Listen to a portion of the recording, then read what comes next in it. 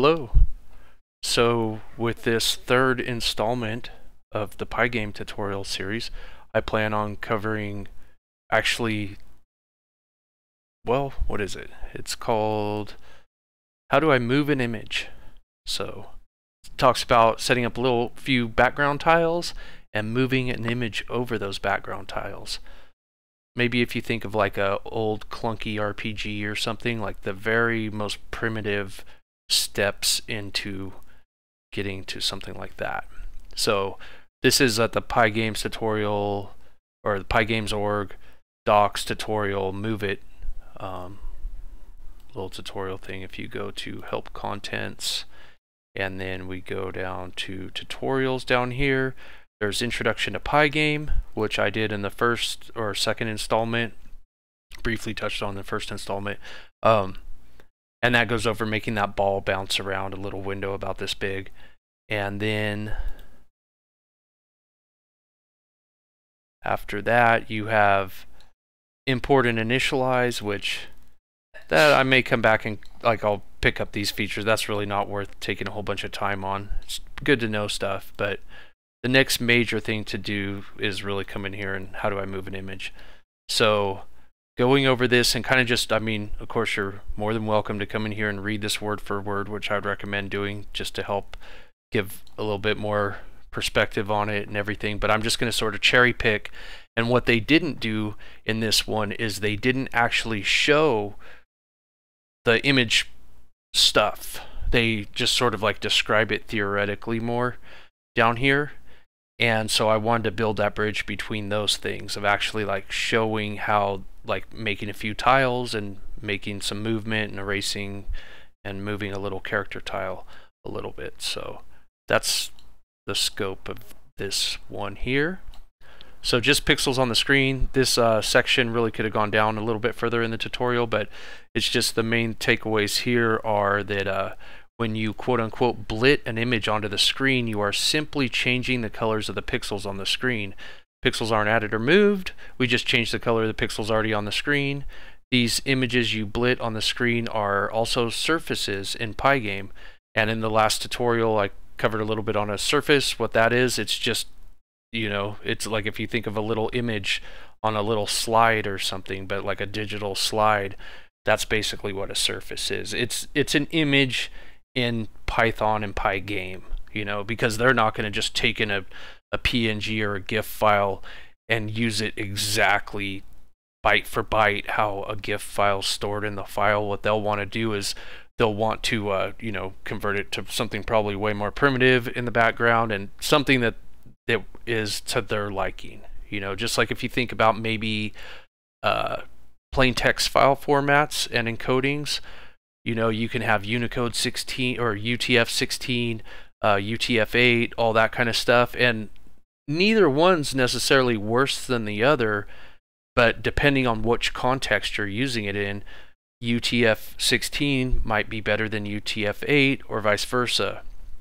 Um, what it is is usually UTF 16 is more efficient for the most part for handling stuff internally within a program because then you don't have to deal with the like testing if there might be multi bytes or not. Um, I guess in UTF-16 there could be multi bytes, so maybe I should say like UTF-32, where you know you're going to use you're going to do the trade-off that time space trade-off, which is important across computing, especially in video games, where you decide, okay, I'm going to use a lot of memory per character. I'm going to use a lot of 32 bits per you know text character on the screen.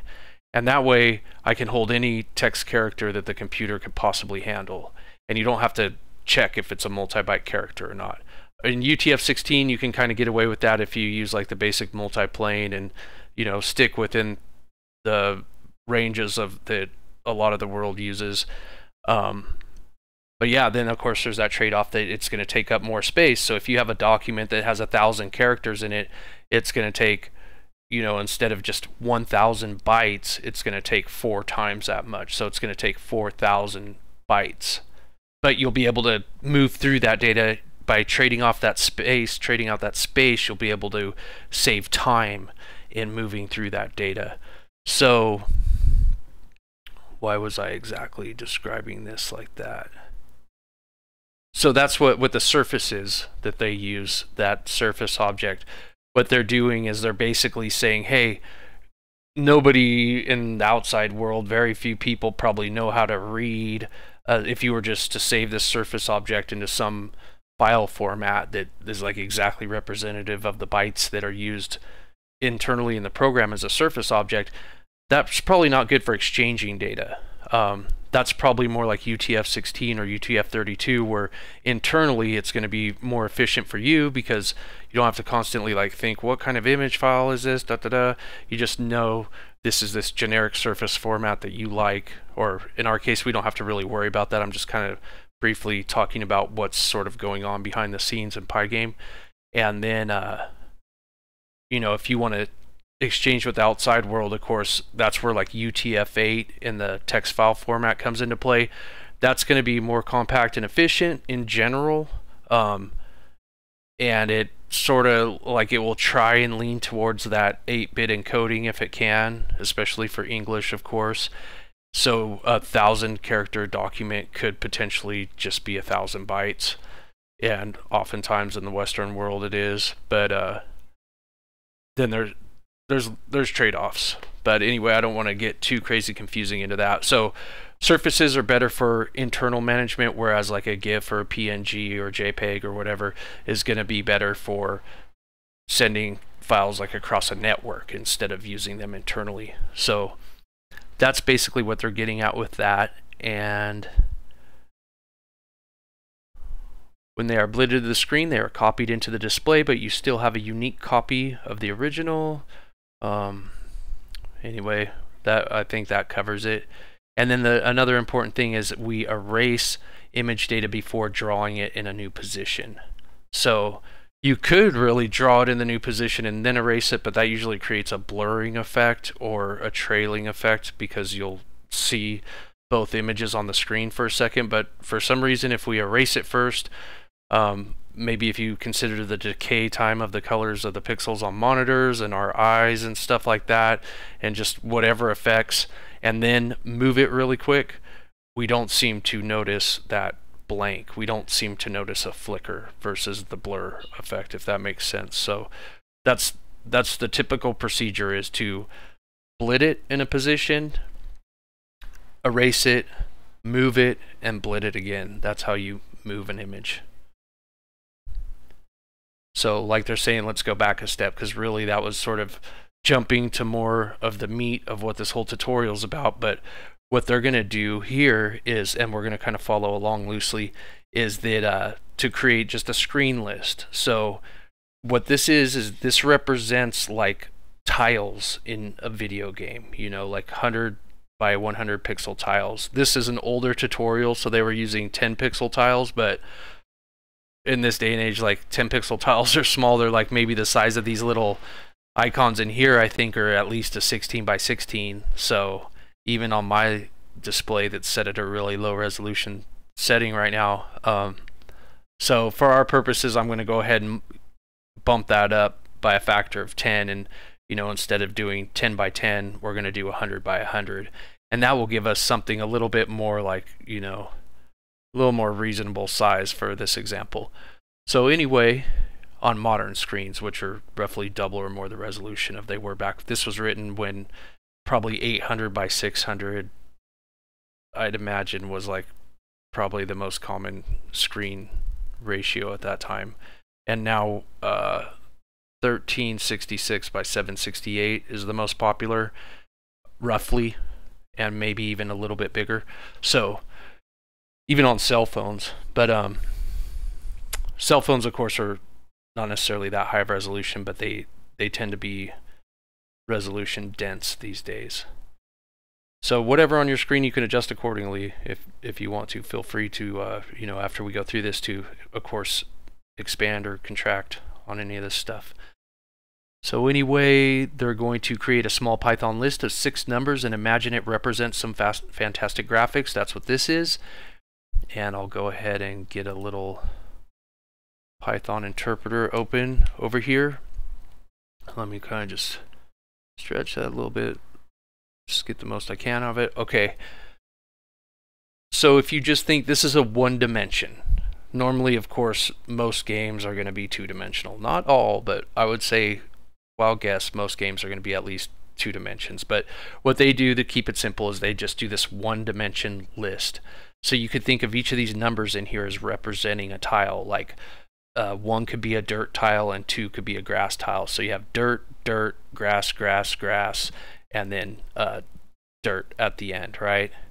And then if it was a two-dimensional array, you'd have another row with like dirt, grass, dirt, dirt, or whatever, you know, for your level, right? So we'll go ahead and just follow along sort of and create screen equals 1 comma 1 comma uh, 2 2 2 comma 1 so six tiles index zero based indexing so it'd be 0 through 5 and then if we type screen we can see there it is. We got dirt dirt grass grass grass dirt.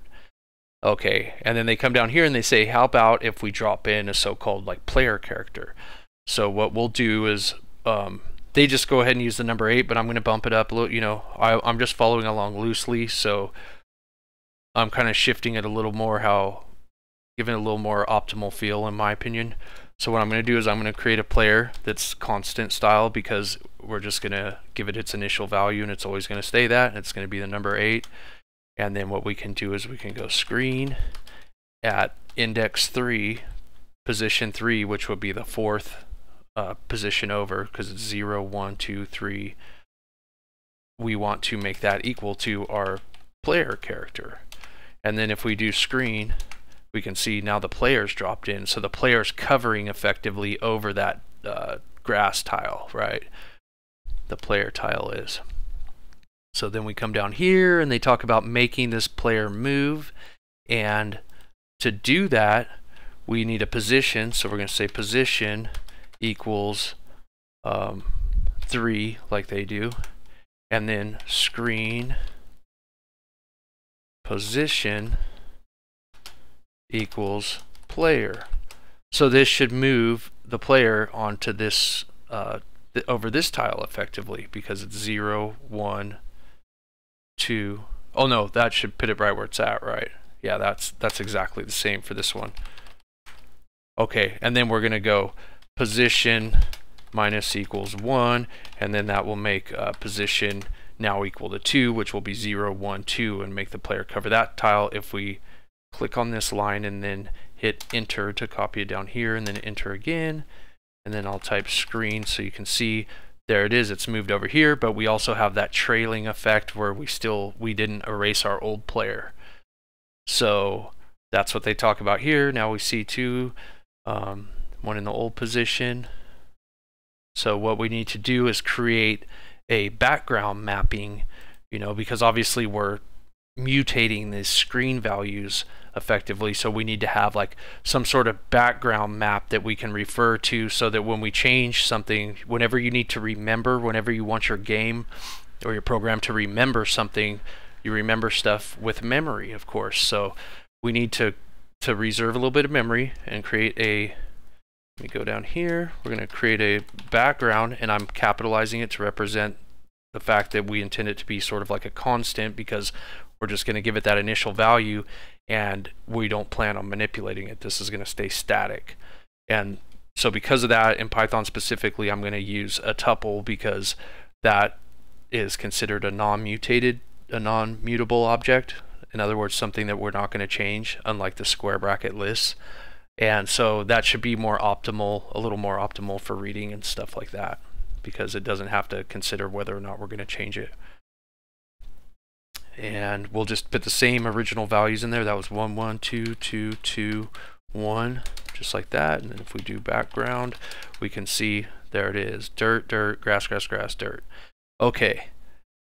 And then what we can do now, what, what do they have here? We'll kind of follow along. So we've done that we don't really need to initialize the screen to black right there. I think that's kind of a wasted step. They say a new blank screen, but whatever, that's... And then we can say for i in the range of the length of the background list, or tuple, whatever you want to call it. So that's saying we're getting the length of the background, which should be 6, and this is creating a range which will give, return us 0 through 6 and then for each one of those numbers 0 1 2 3 4 5 or sorry not 0 through 6 but 0 1 2 3 4 5 6 values we're going to say screen dot blit. Now this is where we basically go back to that first section in the beginning where they were talking about blitting. And we're going to blit the background tiles the background tile for each iteration through that's at whatever index so we're effectively going to go through the background and, you know, do blit, dirt, or yeah, what's that what we're calling dirt, dirt, grass, grass, grass, dirt, like that. And we're going to do that at i times, or no, not i times 100, right? How are they doing it? Yeah, they're just doing it like that. Oh, we're not even supposed to be doing screen blit. Sorry, I'm getting ahead of myself. Um, yeah, we just do a screen. The screen at that index equals the background at that index. Sorry, I was getting way ahead of myself there.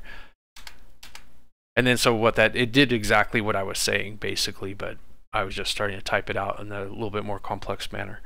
So if we look at screen now, it's effectively reset. It's no longer this, uh, it doesn't have those two player characters on there anymore. It's just got the, the original tiles. So that's cool. That's just basically got us back to where we were. And then now we can manipulate this position and say uh, player position equals 3, position equals 3, and then uh, screen at that position we want to set to the player character, which is that 8. So we'll do that's all that player just gets replaced with the 8 of course. So there it is again. Back to right there. And now making the hero move properly. So now picking up where we left off instead of making the player blur what we want to do is just say uh, screen. We want to erase the original character so we'll say screen at that position is going to equal the original background at that position So for a split second in a real video game, it would be like that. But um, not even necessary to displayed, but just for some tiny fraction of a second, it's like, okay, we erase it off of that background invisible surface back there. And then we want to move that. So we'll say position minus equals one. And then we can say screen position uh, the new the new uh, minus one, so it should be at that square 0, 1, 2 position now. We're going to go ahead and put the player there now. And so if we go to screen, we can see the character is effectively moved from there to erased to there. So that's what's going on with that. And then now if we want to continue to move the character, we could just follow that little pattern of erase and replace with the background. And we can see in the screen. And then move the position. Oops. Enter, enter. So now position is equal to 1, which is that second one over. And then we want to go ahead and put the player, go ahead and paint the player over that. And then if we look at the screen, we can see there it is with no blurring characters. So one more time, it's erase the background, uh, move the position of the player, and paint the player and then we can take a look at it. And there we are. Now we're in the very first box. So what do you think would happen if we do one more where we go effectively past below index zero? So let's try it out. We'll do erase move and then plot the player and then look at what happened. It's way over here because that's in Python a negative index will start over there. So you could really just keep going with Python, right? Um, so anyway, moving along here. Definition of blit. So they go back over that term one more time. Displaying graphics, we use the term blit frequently. Basically means to copy graphics from one image to another. A more formal definition is to copy an array of data or an array of pixel data to a another array of pixel data basically. And whenever you hear the term bitmap, that just means digital image related. So Um, you can think of it as just assigning pixels, which is we're basically flipping pixel values. We're altering pixel color values more than we are moving, but moving is the more human effect that we feel that's going on. But we're not actually so much moving realistically. We're just manipulating values. So it's more advanced than straight copy. I don't think it's really worth stressing on that stuff. So going from the list to the screen. So now here's where stuff gets a lot cooler. So what they have here is they've replaced that uh, you know this one one whatever stuff with terrain terrain one terrain one terrain two terrain two terrain two terrain and all that. So what we'll do is we'll go ahead and uh, I'm just going to close that to kind of clear it out and clean it back up there. And we'll go new file. And uh, we always need to import Pygame and then initialize the modules. And then we'll set up basically that same static data we had before. So we had a player character, but now instead of it equaling, this is where it starts. We're going to go ahead and cross that bridge. And it's going to be, instead of it just being that simple number 8, we're now going to load an image. So we'll use Pygame libraries uh, image module and the load function in there. And I'm on Windows, so I'll do a C, or no, actually I'm, I, I'm going to save this file into the same directory with the images, so I shouldn't really have to type out a complete path because it will just be right there in the current, our current modules directory. So that will be called player.png. And this is how I made these tiles. So here's the tiles right here. I have, you know, a player tile and the same size as, you know, the grass tile and the dirt tile. And then here's our, what will be our game module file. And what I did to do that was I just, I mean, you can use like virtually any paint program, right?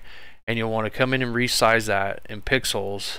Um, and I made it 100 by 100 and then what I did was just come in here grab the yellow bucket tool paint that in and then switch it to black, grab the oval tool, and uh, I went ahead and set it to like crayon effect or whatever just to give it a slight fanciness. And then I draw like an eye, and I can zoom in down here. And so I click away, that eye's fine, and then select that there, and Control C, Control V, so I get a second eye. And uh, so there's my two eyes, and then to do the mouth, I'll do this little line thing right here. Just go across like that, and pull it down a little bit like that. And that's basically what I did to create that face. And uh, then to create the ground tiles, I select brown, the bucket.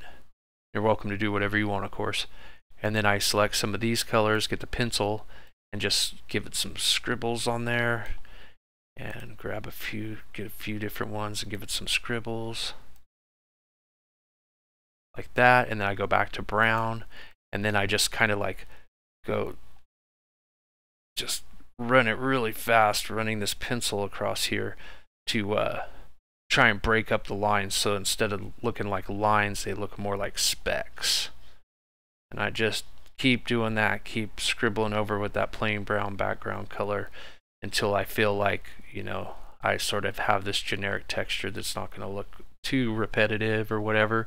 And for the green, I did pretty much the same thing. I just came over here, grabbed this bucket, painted that green. Then I grabbed this light green, switched back to that pencil, gave it a scribble or three across it, and then switched back to that dark green with the pencil and do this. Oh, and do the same thing where I just come back through with that background color and just sort of erase as much of that to where it just looks like more generic speckles. So I'm happy with that. I mean, obviously for a real game, you probably want to give it some more polish than this, but this is just a quick way to make a fun little 100 by 100 pixel tile for that. and then I save that this one is uh, ground B I save the first one as ground A and then I save the face as player.png so that's how you can get that stuff. So I'm loading in player.png I'm going to load in ground A and then that's going to be pretty similar code right here. And this one I had named ground A. Just to be consistent that's way easier for sure. And then I can just copy this bring it down one and switch this to ground B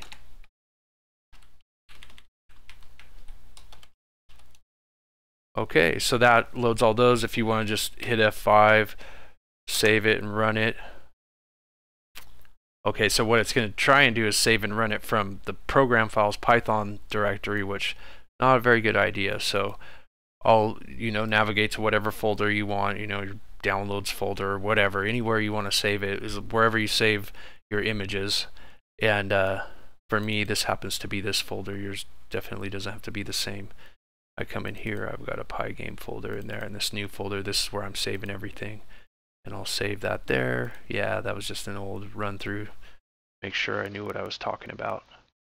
And my voice, the volume's going to kind of fluctuate because Pygame automatically initializes an audio library, which kind of interferes with my microphone recording. So my apologies about that. Um, so now what we're going to do is a background, just like before.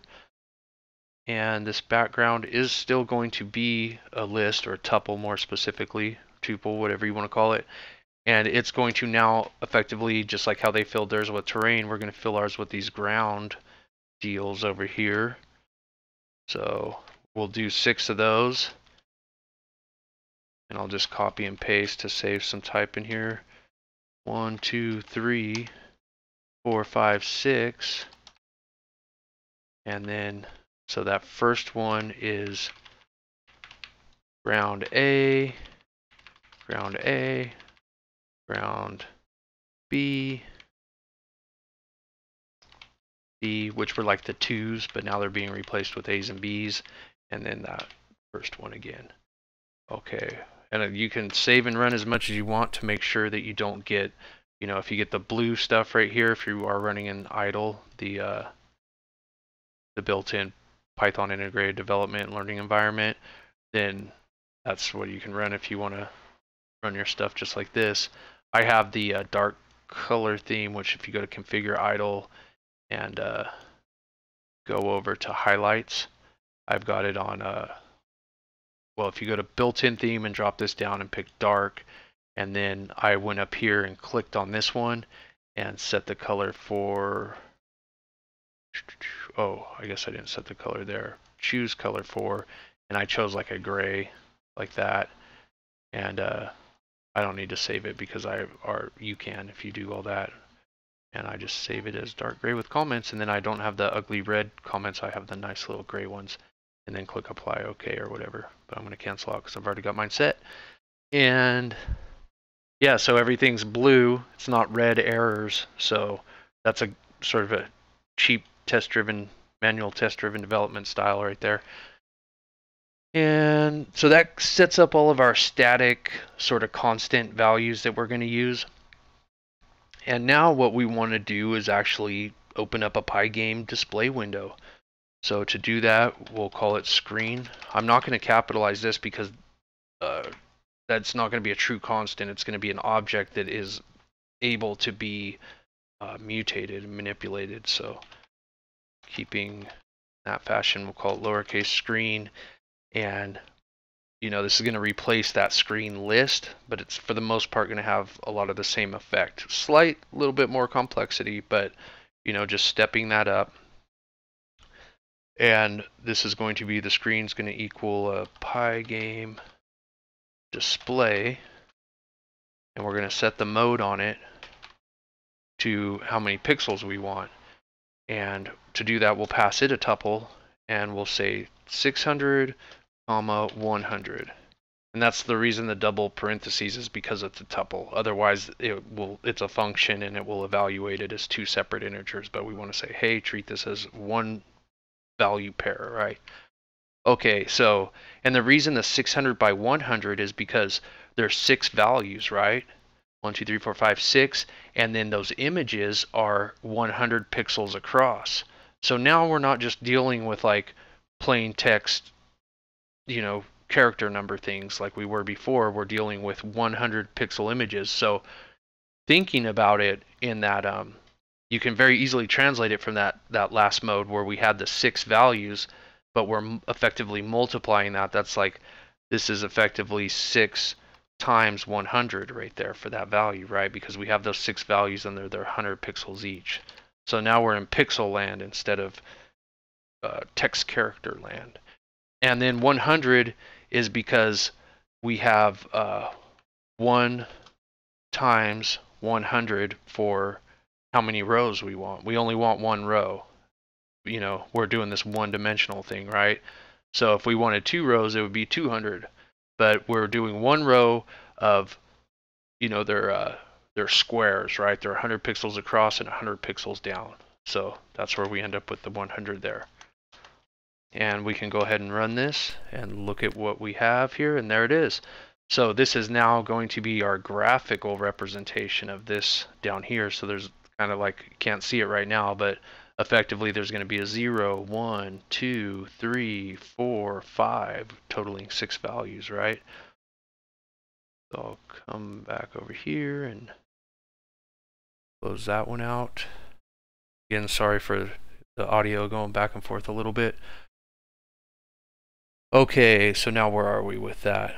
So now it was black, right? So we need to assign that screen those background colors just like we did down here. So we'll do one of those for loops for the index in uh, range of the length of the background.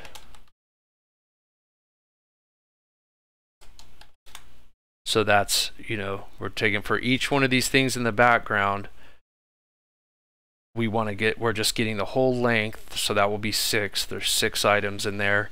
And then we're building a range, so that range will give us the values 0 through 5 again.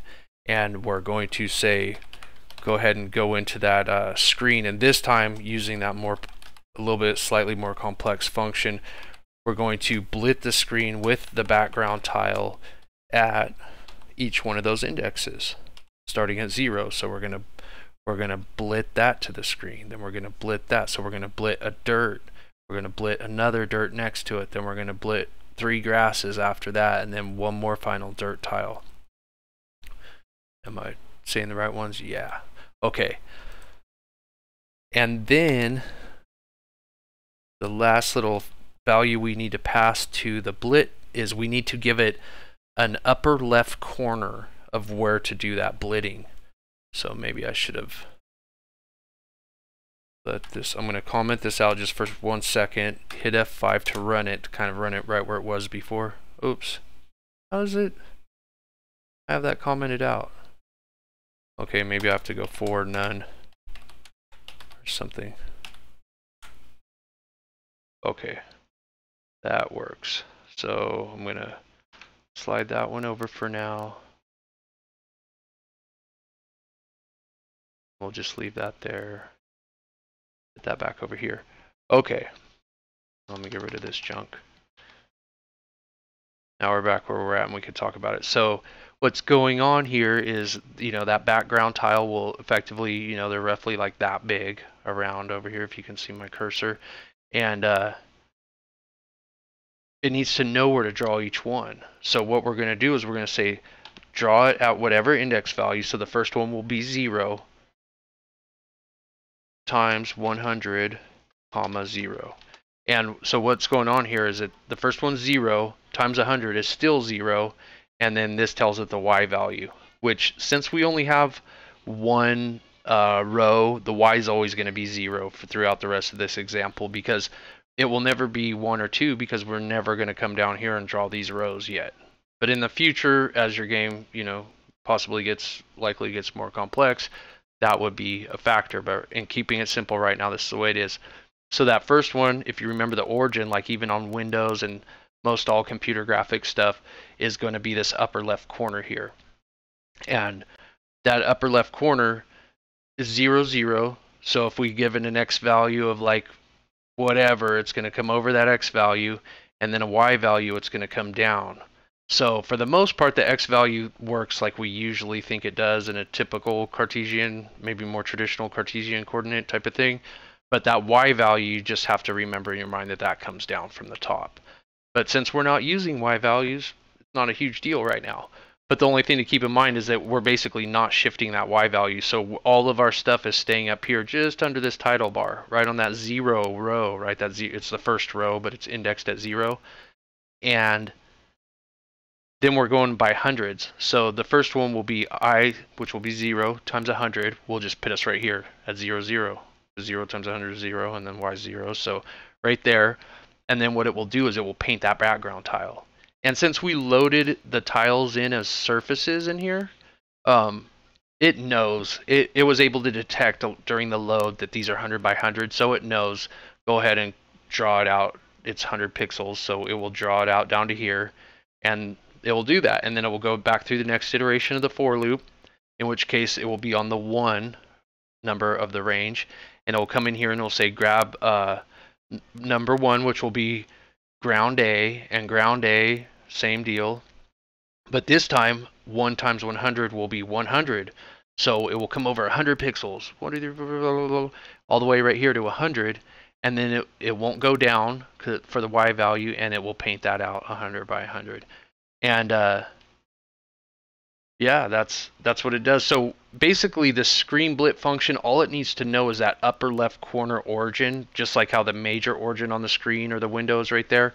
Um, also, when it goes to paint, it's just on a more micro level, it's using that same type of a pattern where it's just saying, hey, give me the, where do you want the upper left corner of this image? Like if you pictured my cursor dragging around one of these things, you know, it's like where do you want that upper left corner at? And so it will come over oh i guess it disappears and it's like okay i'll put that upper left corner there and i'll paint it you know?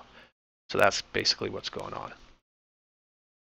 And it knows rectangular wise like when it draws that rectangle it knows to go over a hundred and down a hundred when it does it because of the surface itself so we don't have to pass it the full rectangle. And if you do pass it a full rectangle, which is possible, but a little bit more complex beyond the scope of this right now, um, it will just pretty much, it can ignore those two values. Or I guess it can use them, really. But they're unnecessary for what we're doing right this moment. Okay, so by doing that, we should effectively fill the background with that background list there. So I'm going to go ahead and hit F5 to run that, save it and run it and we can see nothing changed. For you, if you do it, it's your very first time running it, like my very first time running it, it went ahead and changed them. I think that was like a once-off thing, because then it, it won't. And the reason is that's totally normal, is that um, we haven't flipped that buffer to paint. That's this is we're pointed at an invisible surface right now, and it's you know hidden in memory or whatever, so to speak. And what we need to do is it allows us to write that way we can manipulate potentially lots of objects on the screen if we want. But instead of it going oh one and then painting and then another and then painting and then you know constantly doing like a zillion paints which is kind of an expensive operation it just says hey go ahead and do all your writing and do all your stuff kind of light speed in the background there. And then when you're done let us know and call us to update it. And you can call the the flip function to flip that invisible tile to the to the visible display. And so that's what we're going to do right here. Pygame dot display dot flip. And so by doing this, this will cause it to show us what we have painted on that invisible one back there. And there you can see, there's our tiles. So we have tile 1, tile 1, tile 2, tile 2, tile 2, tile 1 effectively according to that old style list that they had, right? And that's fancy. That's that's what we expected. So that's good. So far so good. So now what I'll do here, since we're this far along, I'll move this one over to here. I'll grab this window and I'll put it down here. And now we can use this one over here to manipulate that one. Go ahead and clear this out a little bit. Okay. So now we need our player on the screen. So we just following sort of loosely in line with that first section that we did that was all text based. Now we can sort of use those that logic to uh, drop in our player here. So we know we we passed in now the interpreter, so you know it's effectively like it's ran all this code to right here, and my mouse is freezing up. Okay, it's ran all that code to right there, and uh, and then it's just dumped us off in this shell. But we're still kind of live. You know what I mean? Like we can still manipulate and look at values. Like, hey, let's look at. Uh, oops, gotta match the case here. So player player is a surface. So we have player loaded, even though we haven't done anything with it. We're sitting in that state right now. And uh, yeah, so let's go ahead and let's do this. So all we have to do is the same thing, just like we did with this blit, but we can just replace the background tile. Instead of putting the background tile there, we'll just dump the player in, right? So screen dot blit, and then we're going to pass it that player uh, tile and right here, well actually before, right before I do that, we need to go ahead and create that position variable again. Position and we'll just set it to three. Um, screen dot blit and then the player tile of course and then right here what we're going to do now is the position is still using that simple primitive value right where it's just 3 instead of like 300 or something complex so we need to bump it into pixel we need to give it a factor of how big our tiles are, just like how we did right here with the i times 100. We need to do that also. So we'll pass in the position and then we'll multiply it times 100. And then of course y is always zero for now. And so now on that invisible thing, yours, the very, very first time you run it, it might go ahead and show it to you right now because it might be allowing you to, um, but that's like a once in a lifetime kind of thing. And now you're going to have to uh, and this is the normal practice you should do, is consider you're writing on that invisible background surface. And now you need to tell it, hey, I'm done writing to that surface for this cycle and go ahead and display it. So I can literally just copy this code and paste it right here. And I'll show you this window and then I'm going to hit enter and bam, there's our character, right? So now, now we're basically just like it was with that little number list we were using, but now we've got these cool graphical blocks. And this is kind of like the tutorial didn't exactly give you the visualization on this. So I thought, well, maybe I can add some value by showing this and make it a little bit more exciting. Okay, so now what we can do is we can follow that simple pattern of erase by doing this screen blit thing, but I need to change this back to replace it with the background tile and then at that same position, what's going on here? Argument one. Oh, okay. I just sent it the whole background list. I need to give it the background at that position of the, out of the list, the background tile that's at our current position that we're dealing with. Okay, so now it's effectively on that invisible layer, it's erased our our guy off the screen or gal or whatever. So we can run this display flip, I can just click on that line and then hit enter and it will copy it down here for us and hit enter one more time to actually run it. And then bam, that's to show that, yeah, it erased with the background tile. And then we can do our position, which is at 3 that we're dealing with. We can say, hey, position minus equals 1, which will decrement that position down to 2. So now it's now we're pointing at um, the third box over, zero, one, two, and we can say do all this same stuff blit the player enter and uh, there. And then go ahead and uh, where's that? Display flip. And then the character is effectively moved over. So sticking with that pattern like we did earlier we erase screen blit background position that's at the current position and then we move position minus one, and then we blit the player. And then we flip the display. And there it went, it moved just like that. And we can keep following that pattern. Uh, erase the, uh, replace erase the character, replace with the background, move the position down by one, and then blit the player and flip the display. Do it one more time. See if it wraps around like it did with that list. Erase the player with the background, change the position minus one, and blit the player, flip the display. Nope, it didn't do it because it's not a list.